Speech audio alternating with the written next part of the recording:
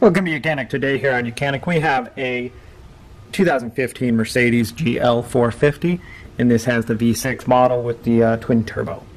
We have our uh, check engine light is on.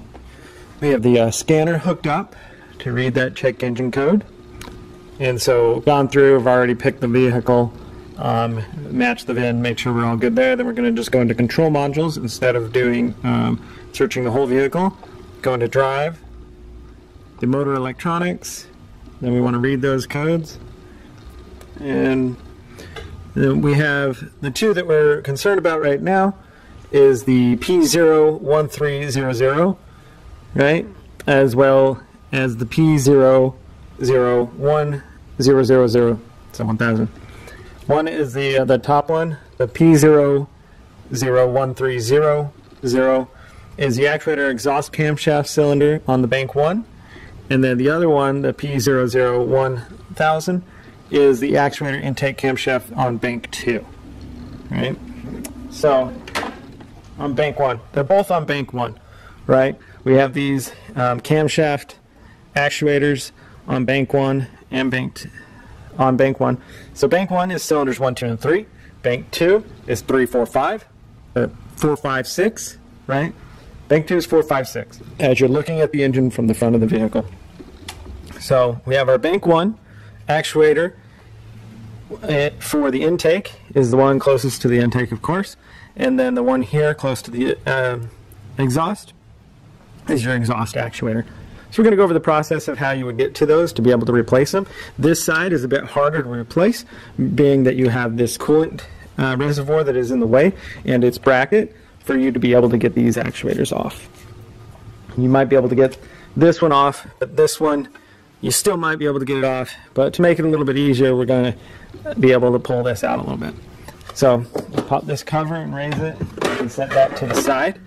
And then when we get down into here, we have an electric connector here to unhook so that we can get this out of the way of the bowl. We've also, you'll drain your coolant down or, or vacuum it out, not vacuum it out, but like um, extract it out of this reservoir so that when you undo some connections, there you don't leak any. And so here is two uh, E10s that you remove. Right down in here is a T25 to be removed of a screw.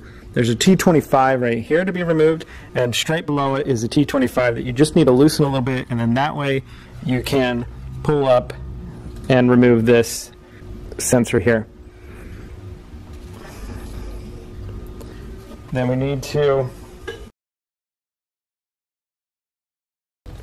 pull that tab up and we can be able to release that. And then that way we have some space with this removed for these lines to move. These are um, vacuum lines that go to the turbos and whatnot. And so we want to be careful with them and not break them. But we want to be able to kind of move them out of the way. Then you're going to go around. We have one black uh, connector here. It just holds that cable to it. There's one up top here. There's one down here we're going to get after we undo this. And we have this connector here that you're going to pull off of the plastic. Then we need to undo this one. Same thing, we pull up the tab.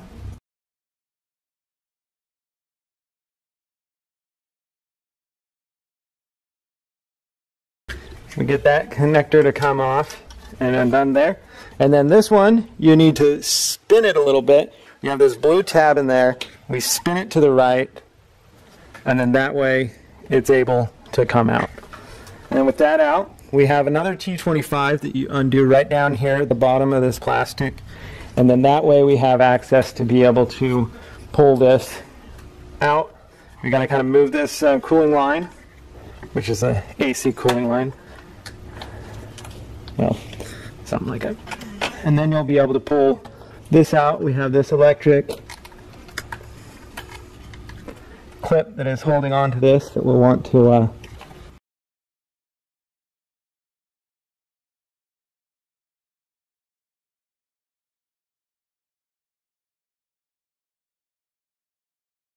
Okay, got that clip off.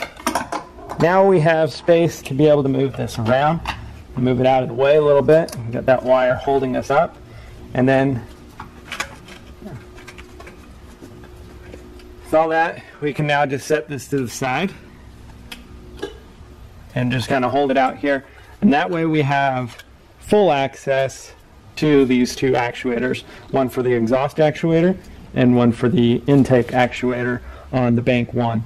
And so now you can be able to replace these. These are just some T10s, or not T10s, E10s on both of them, three of them, pop the, co- the switch off. These are all interchangeable. They are all the same uh, number of part for for these sensors. So um, no problem there.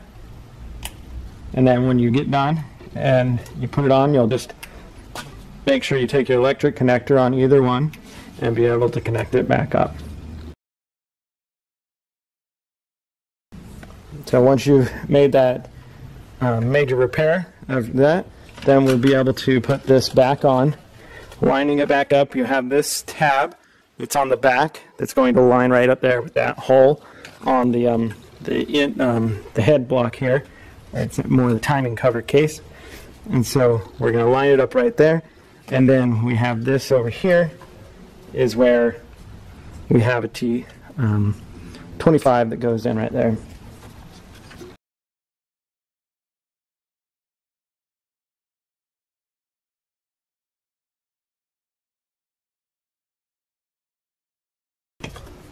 Okay, we got that all in and lined up.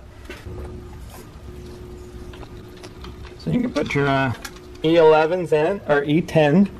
The E10s in up at the top. Get those started in.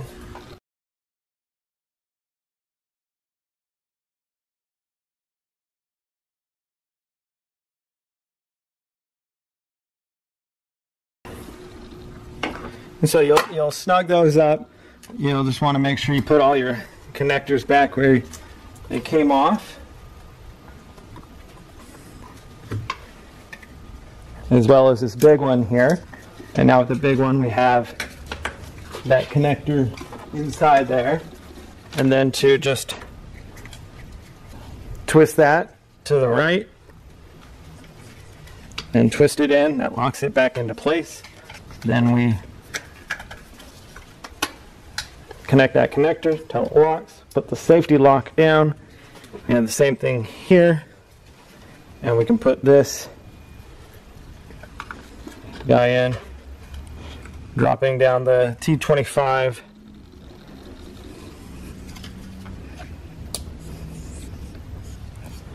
on the um, T25 up here. And tighten that up into place.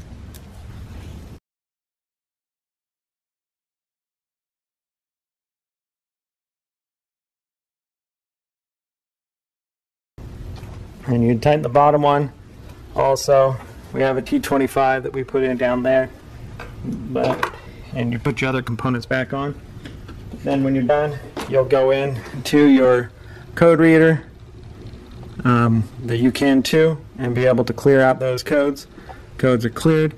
It's checked it's saying that we have another fault of another sort and that's something to do with the vehicle speed but that's another one to address later do that, you clean that all, or put everything back on, and you'll be good to go.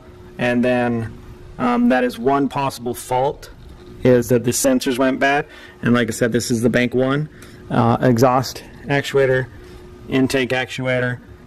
Uh, if it comes back, if your code comes back on, you're going to definitely need to be looking into maybe you have something else happening, happening whether it's internally um, that these are getting like your timing chain is getting stretched and so everything's off or the um, a wire has gotten pinched somewhere if then you'll need to be looking into your wiring harness or maybe something has happened with the ECU. Thanks for watching Mechanic where you can be the mechanic.